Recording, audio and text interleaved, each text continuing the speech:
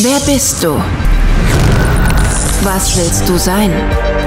Wo andere Grenzen sehen, willst du Grenzen überschreiten. Wo andere nur die Oberfläche betrachten, willst du die Oberfläche verändern und hinter sie schauen. Du willst forschen und entwickeln, willst die Zukunft mitgestalten, willst besser sehen und anderen helfen, die Welt zu verstehen. Du willst berechnen, konstruieren, dabei sein, fühlen.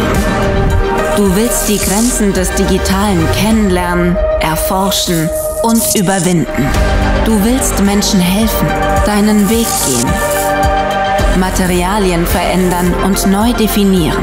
Du willst dich weiterentwickeln und finden, wer du bist. Alles, was zählt, ist deine Entscheidung. Komm an die Ernst-Abbe-Hochschule Jena.